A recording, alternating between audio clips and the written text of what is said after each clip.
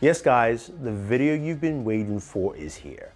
I'm talking about Snapdragon 8 Gen 1 versus Exynos 2200. Every year, Samsung gives us two SoCs for their flagship devices. That means that we have two different chipsets for what could be the gaming performance that sets up all gaming performances, right?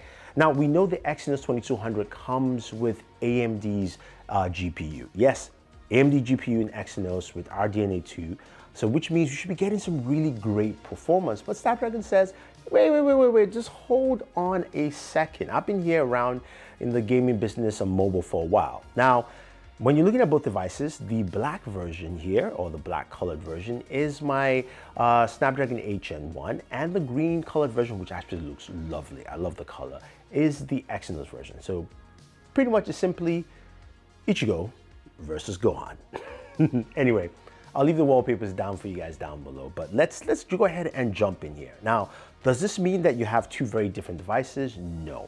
Now, you have devices that have the same displays, the same camera modules, the same batteries, the same everything other than the SoC, which is the main processors in here.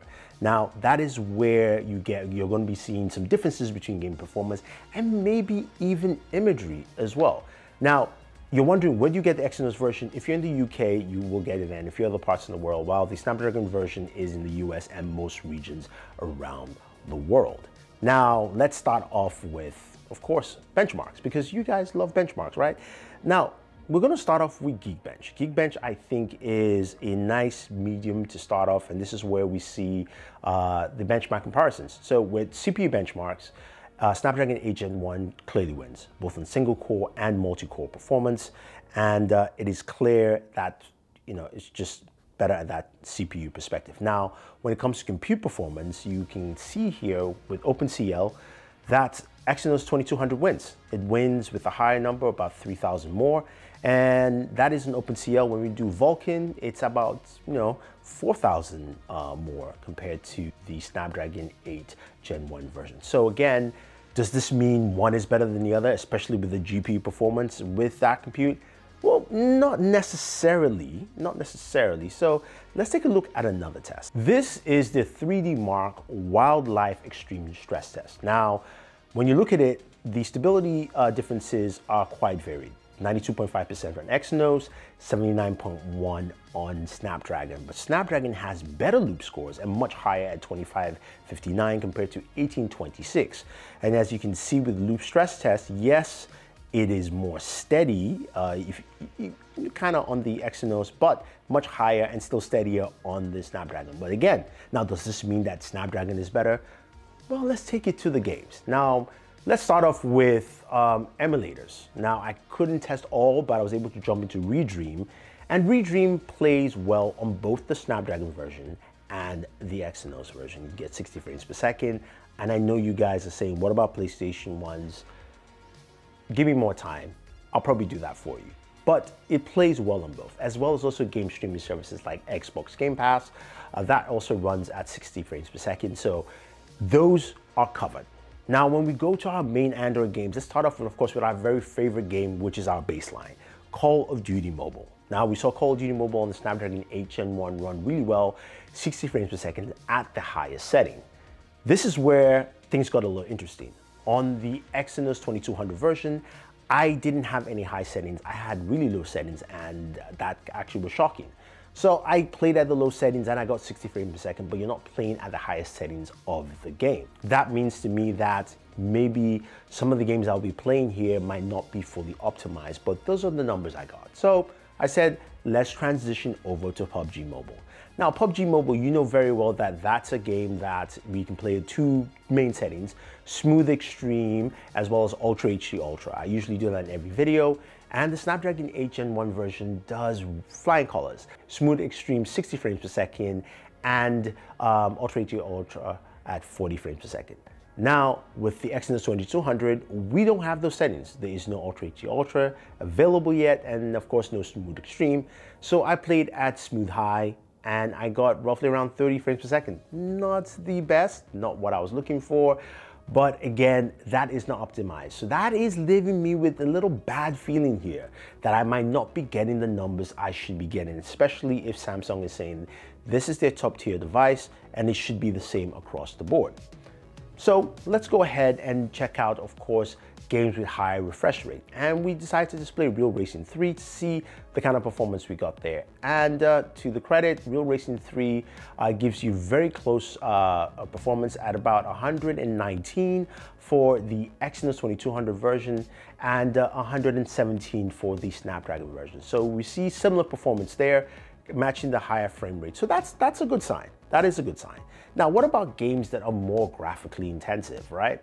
So I went over and uh, checked out uh, Black, uh, Black Mobile Desert. Now, Black Mobile Desert is a game that you guys said I should check out.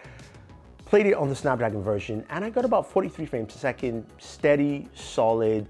The game ran smooth. Again, that's just the frame rate I'm, I'm getting for it. Moved over the Exynos version, and yes, it's the same frame rate, 43 frames per second. So it seems that that optimization might be the key thing here for Exynos, but performance-wise, it's matching on certain games, which include Black Mobile Desert. Then we head over to the game that, of course, everyone knows uh, is not as optimized as would like, Genshin Impact. Now, Genshin, if you guys remember well, in my S22 uh, Ultra gaming video, that ran on the Snapdragon 8 Gen 1 at about 42 frames per second. And we also tested this out against the iPhone and it ran better than the iPhone, which did about 38 frames per second. So what about the Exynos 2200?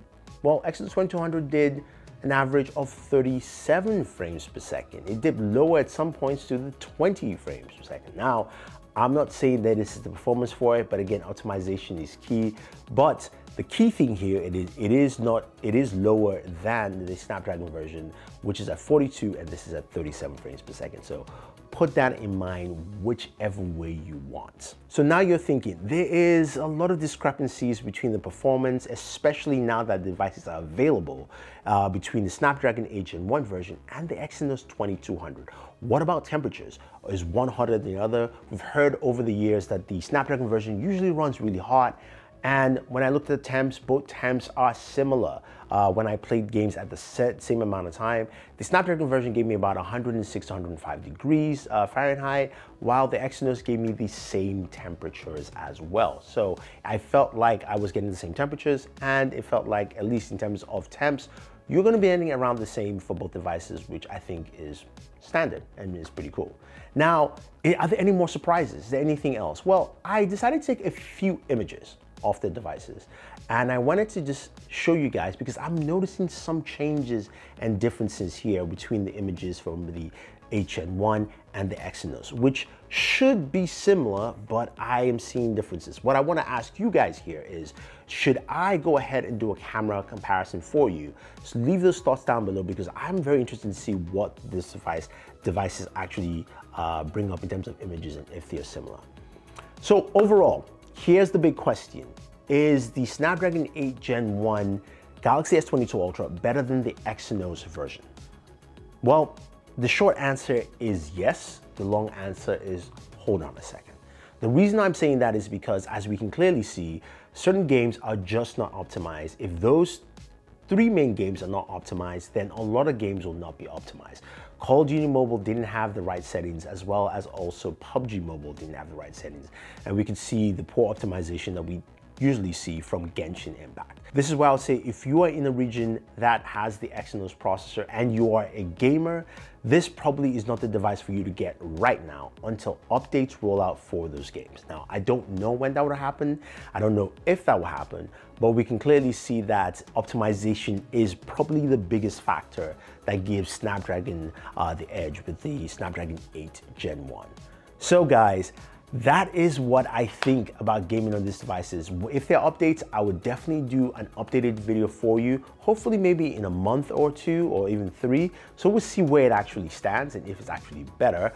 But if you want to check out more videos about gaming on these devices, uh, like gaming um, with the S22 Ultra versus the iPhone uh, 13 Pro Max, go ahead and click that link and check it out, as well as also gaming on the Galaxy Tab S8 Ultra that's a really big device. So click on the link, guys, check it out, and Always enjoy your entertainment.